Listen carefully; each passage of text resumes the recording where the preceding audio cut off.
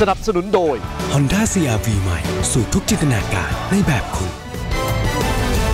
สวัสดีครับท่านผู้ชมครับต้อนรับเข้าสู่รายการ B Times กับผมบัญชาชุมเชเวศนะครับ เราจะพบกันเป็นประจำที่ช่อง 13 นะฮะ เที่ยง 45 นาทีถึงบ่ายโมงตรงโดยประมาณ 15 นาทีครับ ที่ทำให้ทุกคนรู้ว่าการทำธุรกิจในยุคสมัยนี้และต่อไปในอนาคตเนี่ย นอกจากวิธีคิดที่ต้องคมขาดชัดเจน ยังต้องเปลี่ยนแปลงให้เร็วด้วยนะครับ เพราะเป็นยุคแห่งเทคโนโลยีดิจิทัลกันหมดแล้ว อย่างที่ทราบกันดีนะครับคำว่า disruptive economy เนี่ยทำให้บางทีเกมธุรกิจของท่านเนี่ยอาจจะล้าหลังและหลุดออกจากเกมทันทีครับ ถ้าเราไม่ปรับตัวอย่างรวดเร็วนะครับ และส่วนใหญ่เมื่อชมแล้วเนี่ยอยากกลับไปดูย้อนหลังกับรายการของเรา หรือข้อมูลต่างๆ ตลอด 24 ชั่วโมง เลือกได้ 3 ช่องทางโซเชียลมีเดียของรายการนะครับไม่ว่าจะเป็น Line@ Facebook หรือ YouTube พิมพ์คำว่า B Times นั่นเองครับท่านผู้ชมครับเกี่ยวกับเรื่องของแพลตฟอร์มใหม่ๆ ในการที่เราเราไปซื้อของแล้วก็ได้เงินกลับเข้ามาเนี่ยนะครับถ้าคนเดินห้างใช้บัตรเครดิตเขาจะรู้คำนี้ดีคือ cashback แต่ว่าในโลกของความเป็นแพลตฟอร์มออนไลน์ตอนนี้แข่งกันดุเดือดมากทีเดียวครับทำให้น่าจับตามองกับเว็บหนึ่งหรือว่าเป็นแอปพลิเคชันหนึ่งที่น่าสนใจคือ Dealcha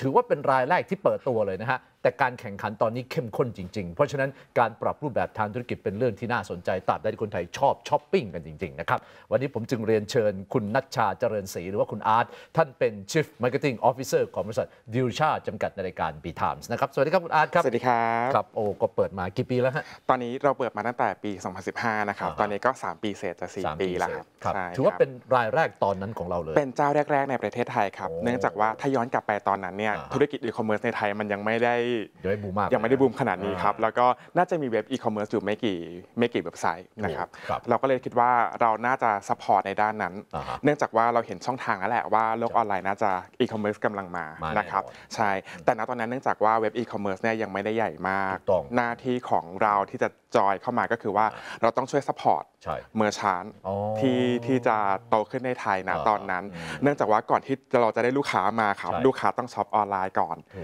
กต้องบอกคุณบัญชาก่อนครับว่าครับทาง Dealcha เนี่ยเราเป็นแพลตฟอร์มตรงกลางอืมระหว่าง merchant กับครับลูกค้านะครับอ๋อเพื่อหาสิทธิประโยชน์ในลักษณะของ cashback ให้ลูกค้าถูกต้องครับผมครับเพราะทีนี้พอเรื่องของอีคอมเมิร์ซมันโตต่อเนื่องขึ้นมาหลายปี แล้วโตแบบก้าวกระโดดด้วยนะฮะใช่ครับและแม้แต่ห้างสรรพสินค้า merchant ตอนนี้ก็คิดบริการของเขาเองด้วยใช่ครับคู่แข่งที่คล้ายคลึงกับเราก็พยายามแข่งขึ้นมาด้วยใช่ครับเลยต้องปรับวิธีการทำงานหรือว่าบริการแน่นอนเป็ครับยังไงในระยะแรกๆอะครับเว็บไซต์ของเรามี partner ที่เป็นร้านค้าอยู่แค่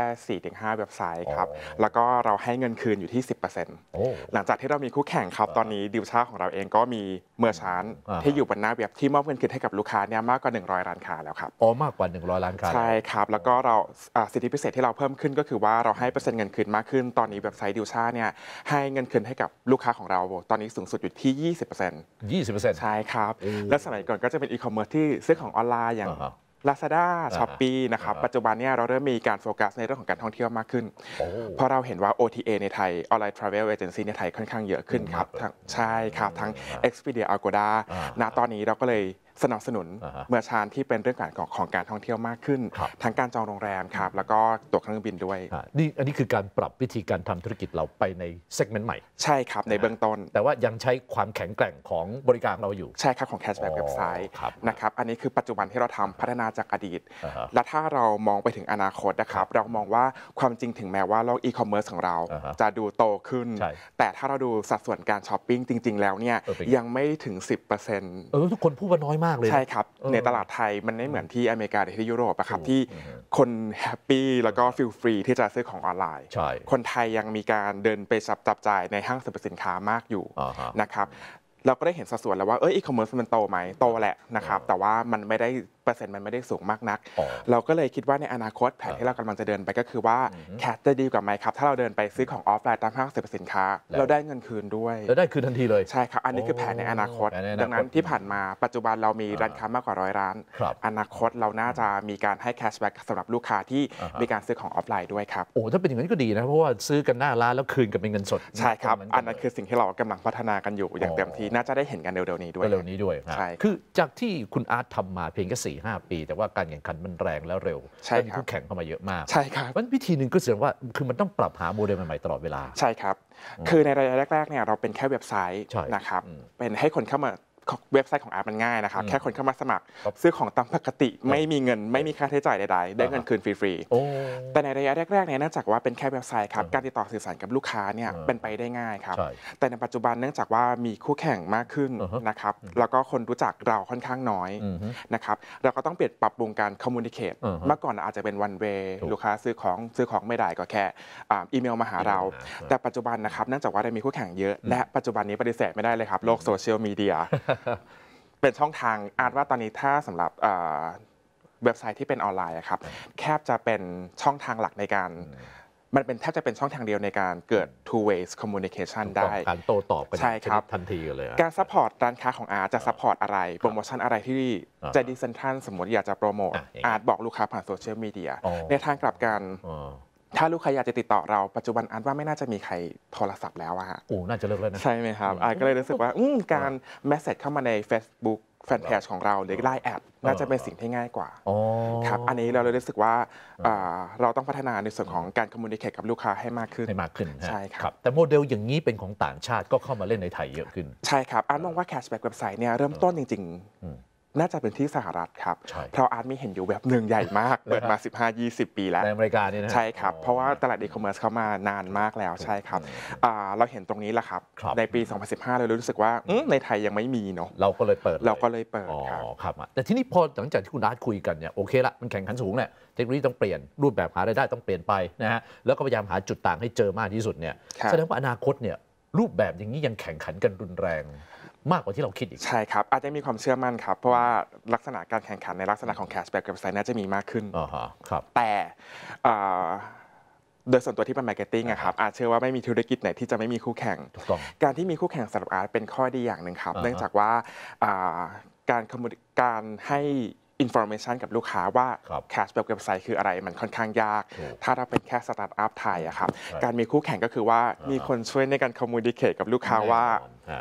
แน่นอนฮะแคชแบ็กเว็บไซต์คืออะไรคืออะไร ใช่ครับ แล้วการมีคู่แข่งที่เป็น cashback เว็บไซต์อ่าฮะมัน support อีคอมเมิร์ซในประเทศไทยครับใช่ดังนั้นถ้าอีคอมเมิร์ซในประเทศไทยใหญ่ขึ้นถูกเราที่พึ่งพาอีคอมเมิร์ซเราก็ก็น่าจะได้ประโยชน์ตรงนี้ ดังนั้นการมีคู่แข่งสำหรับอาร์ตในแง่หนึ่งอาร์ตก็มองก็เป็นข้อดีถ้าธุรกิจเราใหม่มากอ่าฮะๆสำหรับตลาดไทย ถ้าอย่างนั้นคุณอาร์ตคิดว่าในที่สุดเนี่ยนะครับเมื่อลูกค้าเริ่มเข้าใจมากขึ้น พฤติกรรมเป็นอย่างนี้มากขึ้น รู้แล้วต่อไปเนี่ย cashback มันจะเป็นอย่างนี้มากขึ้น มันน่าจะเป็นปัจจัยบวกกับเราไหมใช่ครับแน่นอนครับอาร์ตรู้สึกว่าจริงๆเอ่อถ้าในถ้าในภาษาของ marketing อะครับเรามองว่าในมีคนไทยกลุ่มหนึ่งที่เป็น promo hunter อ่าถูกอืมก็คือว่าลดไม่รู้แหละ5บาท 10 บาท 5% 10%เอาไว้ก่อเอาไว้ก่อนใช่ครับดังนั้นเนี่ยอาร์ตมองว่าตรงเนี้ยครับอ่าการที่คนอยู่ดีๆ อยู่อยู่ซื้อของผ่าน JD Central วันนี้อ่าฮะก็ซื้อของถูกมากแล้วถูกแต่จะดีกว่าไหมถ้าถ้าคุณได้เงินคืนด้วยโอกลับเข้ากระเป๋าเลย ใช่ครับอ่าวิวิธีการ cash out ของเว็บไซต์เราเป็นการโอนเข้าบัญชีโอนครับเข้าบัญชีเลยใช่ครับ แต่ว่าในอนาคตครับเนื่องจากว่าปัจจุบันนี้บัตรเครดิตก็มี on top ใช่ครับ แล้วก็มี wallet เกิดขึ้นมากมายถูกตอนนี้เรากำลังคุยกับ partner กันว่าอื้อจะเป็นไปได้ไหมที่จะทำให้ลูกค้าสามารถถอนเงินคืนในรูปแบบอื่นนอกเหนือ จากจากการแค่โอนเงินเข้าบัญชีได้อ๋อใช่ครับครับฮะซึ่งตอนนี้เขาพยายามผลักดันให้เข้าไปอยู่ในความเป็นเรื่องของ cashless กันหมดนะฮะใช่ครับแต่แต่ถ้าโมเดลตรงนี้บอกว่าถอนมาเป็นเงินสดได้เลย มันจะไม่ขัดกันเลยครับ ใช่ครับ นี่แหละครับ เป็นจุดที่เรารู้สึกว่าเอ๊ะตอนนี้ในประเทศไทยเราพยายามพัฒนาว่า อ่า no cash ใช่ไหม No cash อ่าใช่ครับ เราก็เลยมีการติดต่อกับ partner ตอนนี้หลายเจ้ามากครับอ๋อเพื่อจะ cash out เป็นวิธีอื่นโอ้ปัจจุบันคนซื้อของจะ wallet มากเลยอะครับถูกอะก็เลยมองว่าถ้าดิวชาเนี่ยอ่าฮะสามารถถอนเงินในระบบดิวชาเข้า wallet ที่ลูกค้าใช้ช้อปปิ้งอยู่แล้วอ่าฮะน่าจะต่อยอดได้มากกว่าไหมอ๋อหรือถ้า on top ไปเลยในอ่าบัตรลูกค้าไปเลยเป็น cashback credit ครับ ในบัตรเครดิตลูกค้าไปเลยจะดีกว่าไหมอืมแต่แน่นอนครับขั้นตอนการทำงานตรงนี้เนื่องจากเป็นเป็น financial มันจะค่อนข้างยาก เนื่องจากว่าอาจจะต้องมีการติดต่อกับแบงค์ด้วยอะไรด้วยใช่ครับ แต่ว่าเห็นแน่นอนครับที่ดิวชาการ cash out จะไม่ใช่แค่การโอนเงินเข้าบัญชีแน่นอนในอต่นาอคไปตฮะอ๋อก็คือต้องมีทางเลือกและเป็นทางเลือกที่ถูกใจช่ครับด้วย เนื่องจากมีคู่แข่งด้วยครับ เราก็ต้องหาวิธีอื่นที่จะ support ลูกค้าให้ให้ได้มากที่สุดคครัรับบ เพราะฉะนั้นประเด็นตรงนี้ที่คุยกับคุณอาร์ตมาใช่เราบุกเบิกก่อนเราทำโมเดลนี้มาก่อนครับเราหาตลาดใหม่ๆขึ้นมา แล้วเราครับพยายามจะคิดค้นการตอบสนองขึ้นไปเรื่อยครับๆหัวใจมันคือการปรับธุรกิจตลอดเวลาใช่ไหมครับใช่ครับถ้าไม่ปรับล่ะลูกค้าปรับครับเราอ๋อจริง ๆอาร์ตว่าผู้ประกอบการหลาย ๆ คนก็ถ้าของเดิมมันดีอยู่แล้ว เราก็ไม่ได้อยากจะปรับอะไรใช่ไหมครับถูกแต่บังเอิญว่าพฤติกรรมผู้บริโภคเนี่ยเปลี่ยนทุกวันครับคุณบัญชาเออเมื่อก่อนนะครับเว็บไซต์ของอาร์ตเนี่ยเราจะเน้นด้านของการ support ธุรกิจอีคอมเมิร์ซที่เป็นกึ่งอิเล็กทรอนิกส์อ๋อฮะสมัยหนึ่งรัฐพอร์ลาซาด้าสินค้าที่ขายดีที่สุดคืออิเล็กทรอนิกส์ใช่แต่ปัจจุบันนี้ท่องเที่ยวมาแรงมากถูกซึ่งอืมคนไทยท่องเที่ยวบ่อยมากใช่ครับคนไทยมีการอ่าติดต่อเราน้อยลงอือฮึดังนั้นเราต้องทำยังไงก็ได้ครับ ให้เราเข้าถึงลูกค้าได้มากขึ้นอ่า support สิ่งที่ลูกค้าสนใจได้มากขึ้นครับในเมื่อพฤติกรรมลูกค้าเปลี่ยนทุกวันครับอ่าฮะเราผู้ประกอบการเฉยก็ไม่ได้นะใช่ครับ ต้องเปลี่ยนตามลูกค้าครับนี่แหละครับท่านผู้ชมครับเราคุยกันมาหลายครั้งเราจะพบว่าบ่อยครั้งเนี่ย ผู้ประกอบการเปลี่ยนเอง และหลายครั้งมากๆ ที่ลูกค้าเปลี่ยนเอง และอย่างกรณีนี้ชัดเจน ลูกค้าเปลี่ยนอยู่ตลอดเวลา และการแข่งขันก็สูงอีกต่างหากเพราะฉะนั้นมันไม่เปลี่ยนไม่ได้ครับเหมือนอย่างตอนผมเปิดรายการตั้งแต่แรกนะครับว่าเอ้ยอยู่เฉยคุณจะถูกออกจากเกมธุรกิจโดยง่ายได้ไม่ว่าคู่แข่งหรือลูกค้าของคุณนั่นเองนะครับและวันนี้ก็ต้องขอขอบพระคุณคุณนัชชาเจริญศรีหรือคุณอาร์ตนะครับท่านเป็น Chief Marketing Officer ของบริษัทดิวชาจำกัดในรายการ B Times นะครับขอบคุณครับคุณอาขร์อบตคุณครับมากครัครับบเอาละครับเดี๋ยวเราพักสักครู่แล้วกลับมา B Times ต่อช่วงหน้าครับ Música